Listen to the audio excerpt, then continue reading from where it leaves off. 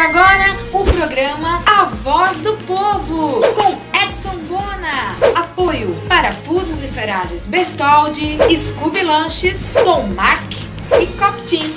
E você que assiste pelo YouTube, não se esqueça de dar aquele like, se inscrever no canal e acionar o sininho. E pelo Facebook e Instagram, deixar seu like e compartilhar. Olá, bom dia! Estamos com mais um programa A Voz do Povo e neste sábado tenho a alegria de poder também conhecer um pouco mais sobre o Sérgio Luiz da Silva, que ele faz parte da Associação dos Deficientes Físicos de Timbó.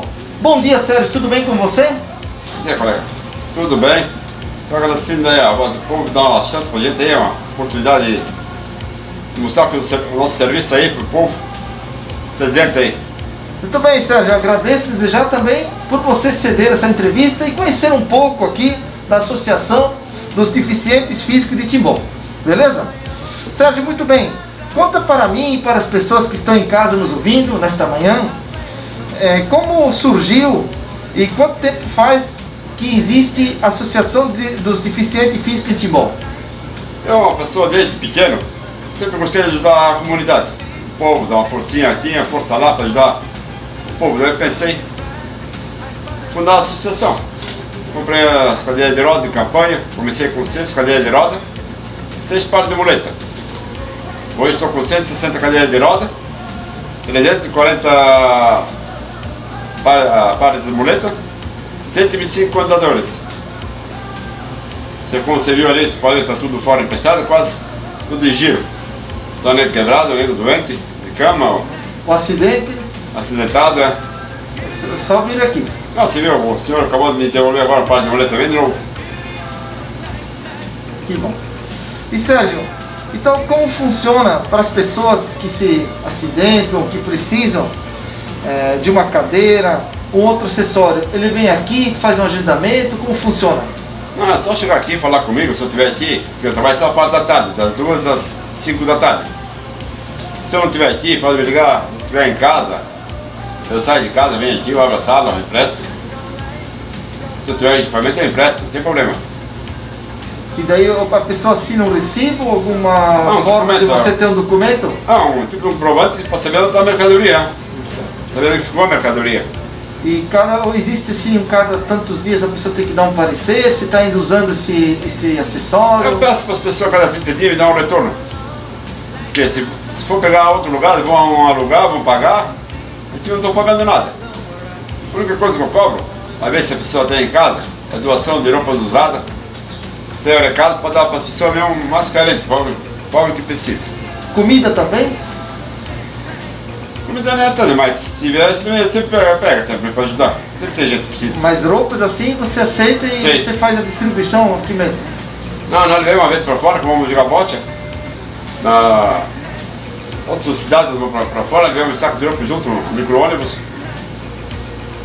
As pessoas ficam feiras, porque chega até a sair a água dos olhos das pessoas lá quando recebe. Há uma curiosidade, gente. Nosso amigo Sérgio aqui joga bote, né? Né, Sérgio? Quanto tempo já faz que tu joga bote? Mais de 30 anos. E você começou no começo que tem o quê? Uns quantos anos? Eu tenho aqui uns 18, 19.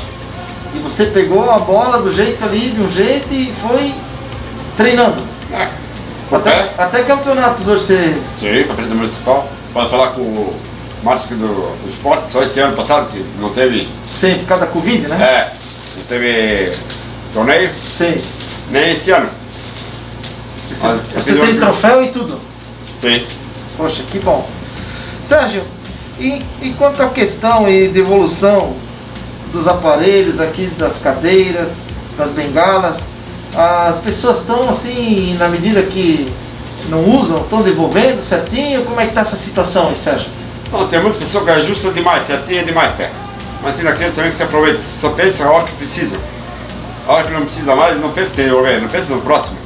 Tem mais gente precisando.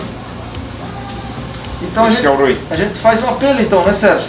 As pessoas que, que tem muitas pessoas ali que poderiam já ter devolvido, que não precisam mais, Com né? certeza. E que pudesse devolver para que outras pessoas pudessem estar usando, né Sérgio? Ser ajudado, é. E também, Sérgio, as pessoas que às vezes têm em casa uma cadeira de roda, seja uma bengala, ou seja outra, uma outra ferramenta desse que usam as pessoas e tem em casa e não usa mais. Pode doar aqui para vocês? Pode chegar aqui na Associação dos Deficientes, pavilhão aqui, né? L Paus, falar com o Serginho aqui, a parte da tarde, sempre estou aqui só à tarde. Faço meu serviço, é voluntário, né? Não tem nada a ver com a prefeitura, deixa bem claro que a prefeitura não ajuda em nada, nunca ajudou. A sala tem aqui mesmo, quem me deu a sala foi o promotor, do- doutor Alexandre Seratini, faz 22 anos, Que bom. E você desde oi- 94 você tem aqui? 94. Desde 94. Eu comecei 5 anos lá na praça, tinha. Ah, na praça ali da Figueira. né? Isto. Que bom. Então, gente, a gente deixa aqui aquele mais uma vez o apelo às pessoas que pegaram os acessórios emprestados, né, que não usam mais, não utilizam, que pudesse estar devolvendo, né, Sérgio? Eu ficava agradecido. Se as pessoas tivessem um pouco de consideração, pensar no próximo.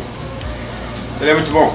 Que bom. E também, se você tem roupa em casa para doar, também pode trazer aqui Sim. no, no- na sua sala, aqui no pavilhão Eripão, né?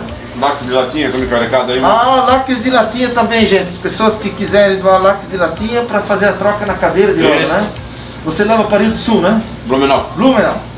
Então é isso aí. Sérgio, quero deixar os últimos minutos para você, deixar uma mensagem e mais, talvez mais uma informação, por favor.